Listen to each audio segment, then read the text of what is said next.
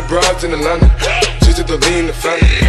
Credit cards in the scammers. Guys welcome back again it's your boy right here hashim bringing you to you guys again another great video as i said in my past video which was on marisa month and i said oh i'm gonna bring you guys 10 facts about filipino yeah it's gonna come up and this is it right here right so in this 10 facts about Filipino, we definitely want to take a look at it. And I didn't really look at it that much. I just open it and look at it a little bit and then roll that. And actually cut cut the video and send it to that particular video as I was releasing it. So let's get this one rolling for you guys. And thank you guys for watching. Again, um, big shout out to one of my great Filipino subscriber named Happy Cat. He's a great guy and um, let's get this rolling and see how it goes guys because i like to know about a filipino and i definitely i do work with a filipino guy. His name is manolo. Yeah that's why we call him manolo. And sometimes i actually call him like pacquiao now yeah because i'm like yo since um when was it Pacquiao last fight, I start calling him. I said, "No, I'm gonna call you Pacquiao. I don't call you Manio, uh, Manolo no more." So let's get this rolling, guys. Let's see. Cause I told him, I said, whenever he's going vacation, I might one day go with him down to the Filipino, and I'll bring my cameras and everything, take pictures, and see how Filipino look, and um, post that into this channel. So let's get this rolling, guys. And thank you guys for watching. And let's see the 10 facts about Filipino. 10 facts about Filipino begins now. Peace.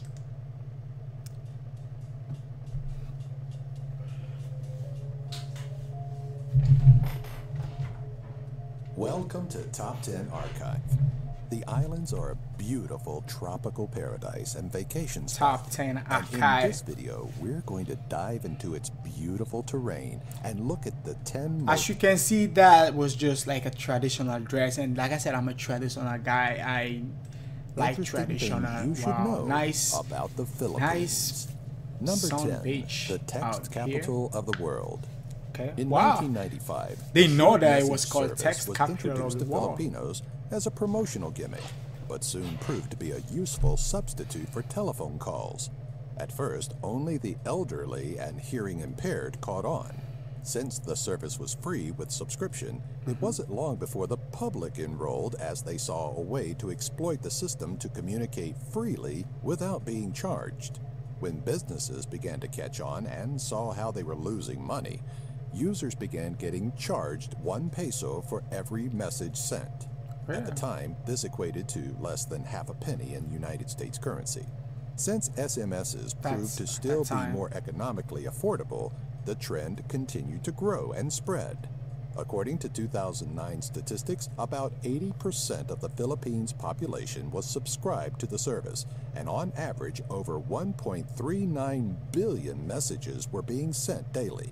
The country became known as the unofficial text capital of the world, a title it maintained up until the early 2000s. Number I'll nine, tell him the that. flag. The flag of the Philippines has an He almost gave of me that flag. behind it, commonly referred to as the But I- I'll ask him. I said. Manolo, I need the Filipino flag. royal blue When I get it, I'll put that flag behind me when I'm doing my Filipino videos. another. The golden sun with eight rays that protrude from its center symbolize the country's first group of provinces which rebelled against Spain in 1896, sparking the Philippine Revolution. The three golden stars represent the three main islands, Luzon, Visayas, and Mindanao. If the red band is displayed above the blue and hoisted, this indicates that the nation is in a state of war. Wow. Number eight. That's really good to know. Karaoke is a skillful pastime in which competitors You and or amateur singers sing along with recorded music using a handheld microphone. Lyrics are displayed on a screen along with changing colors and other visuals to help guide the singer along. Mm-hmm. To this day, a large number of Filipinos have this in common as a favorite pastime. Music from the 1960s from such artists as the Beatles and Frank Sinatra had become favorites in the early days of karaoke. A Filipino named Roberto del Rosario is credited with its invention in 1975. but this has been disputed by a Japanese musician named Daisuke Inoue, with little to come of the matter. Whoa. Number 7. Biggest Shoes.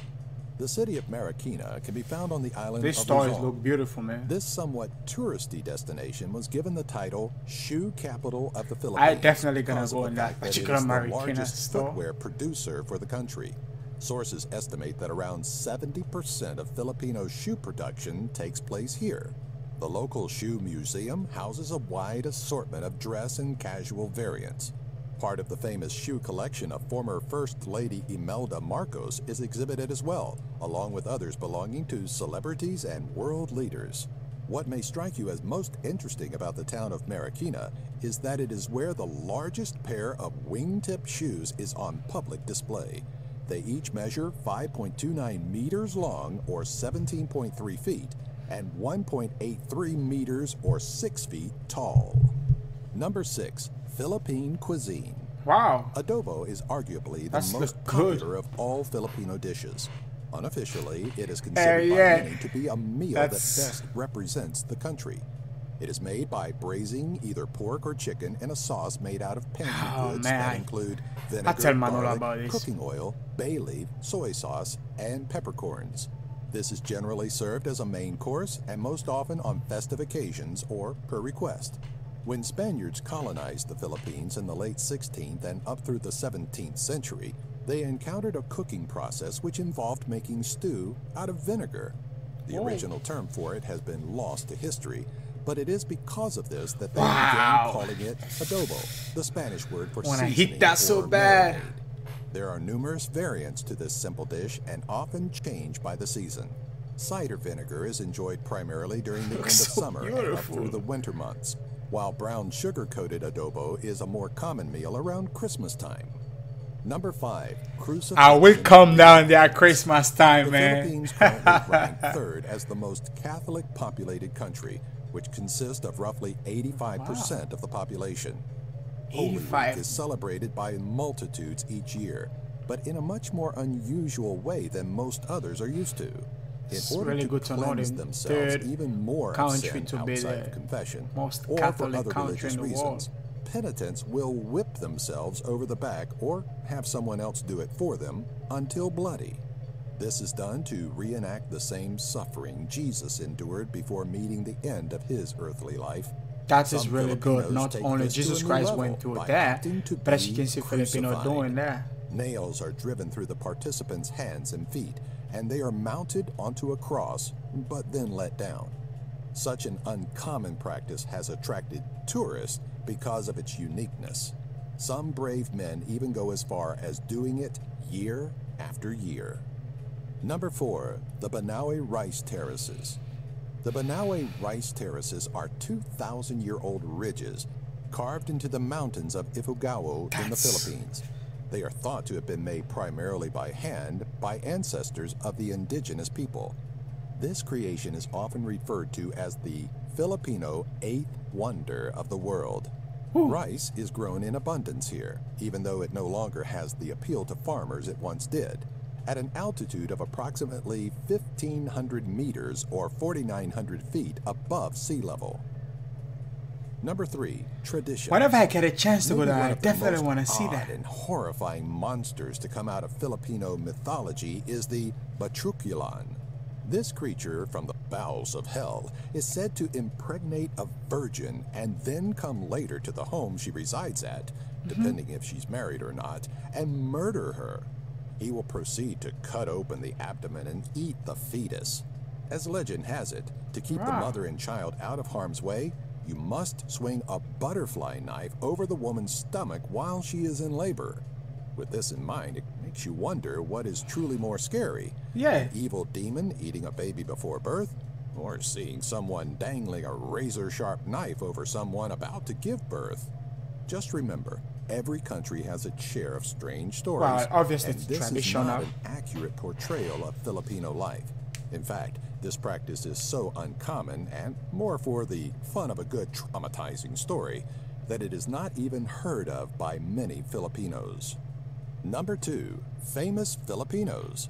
Tim Tebow is likely the most well known person to be born in the Philippines. His parents met at the University of Florida in the late 1960s and were married in 1971. Four years later, the family moved to the Philippines to work as Baptist missionaries and built a ministry. Tim's wife, Pamela, discovered she was pregnant while still recovering from a coma induced by Oh. amoebic dysentery. The fetus suffered a severe placental abruption, limiting wonder he become a chances of survival. because the mother was suffering. stillbirth and advised an abortion, which was turned down by his parents because of their No, religious beliefs. don't do it. Thank you. On August Thank 14, you. 1987, Tebow was brought into the world alive And- and, well in the town of Hold it there, hold it there, guys. Hold it there. This is the reason people you don't really need to do abortion. Now, if there was an abortion, he wouldn't be a star. Come on. That was absolutely the right thing they did by the traditional belief. You don't need to do abortion. Let it be. Let's go on, guys. largest Filipino city. He went on to have an exemplary professional football career. Thank you, don't do States abortion. And has played on teams such as the New England Big Patriots, in the wall. Broncos, and New York Jets. Here you go. Other famous Filipinos include professional boxer. Hey, that's my YouTube right sensation Dominic Panganiban. Number one, down with Pepsi. When Pepsi Cola ran its Number Fever promotion in 1992, they offered 1 million Filipino pesos to whoever found the lucky number 349 under their bottle cap. Due Uh-huh. to what they called a computer glitch, the number was mass produced, which equated to thousands of winners. When the company found they were unable to pay their dues, Okay. some outraged locals rioted and others even bombed Pepsi's Filipino bottling plant. Reports state that a woman and her child were even killed by a grenade intended to cause damage to a Pepsi truck. Wow. courts in the Philippines have continually turned down requests for Pepsi to pay in full what some claim is owed to the people. Hmm. For now, the matter is resolved, but Pepsi's reputation remains tarnished. Like these That's obviously how could you do that? You have to pay the people if they whoever win. That's why when you lottery is play, you definitely need at least one winner. This is the reason why you definitely need one winner because of what just happened down there. All right, thank you guys for watching. If you do want to see more of the Filipino stuff in this channel, I'm gonna do my best to bring you guys more and more.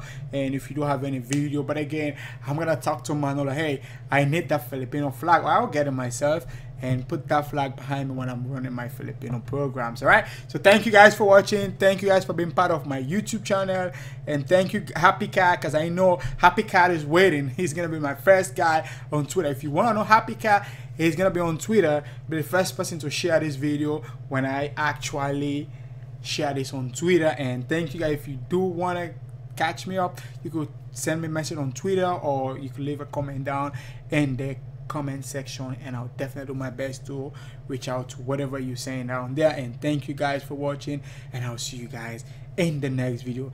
Let's do it guys. Peace